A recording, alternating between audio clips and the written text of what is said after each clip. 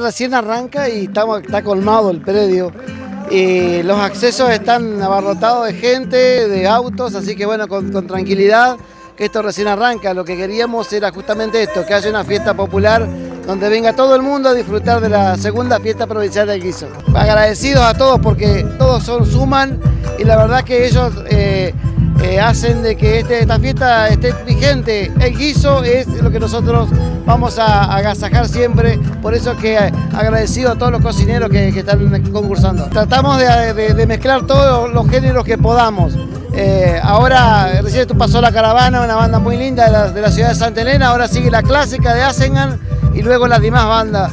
Eh, así que tratamos de estar con todos los géneros y para que a la gente le guste eh, eh, todas las bandas, obviamente. Nos arriesgamos mucho para poder traer y esta banda y, la verdad que pudimos cumplir las expectativas y bueno, hoy poderle decir de que tener al Averizo sobre el escenario en la localidad del Pingo es, es, un orgullo y una emoción enorme. Un orgullo haber logrado la fiesta provincial.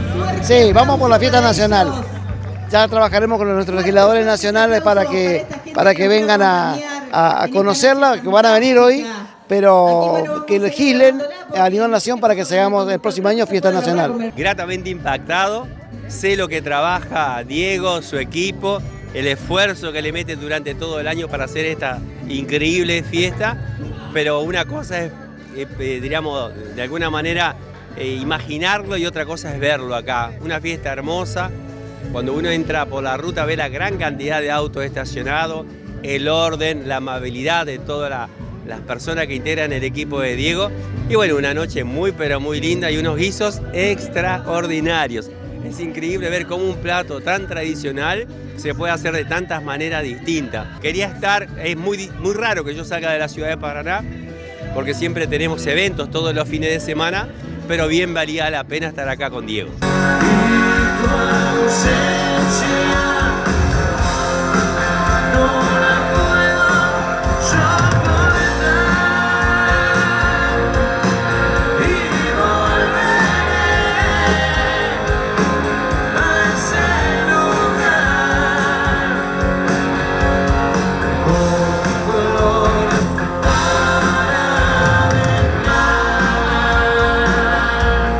Pingo cambió mucho entre ser junta de gobierno y luego ser municipio.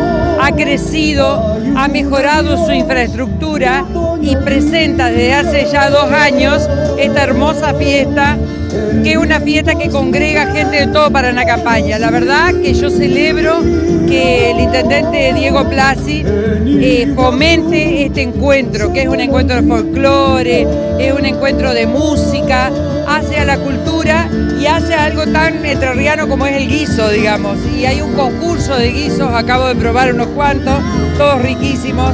Me parece muy bueno. Además es bueno celebrar.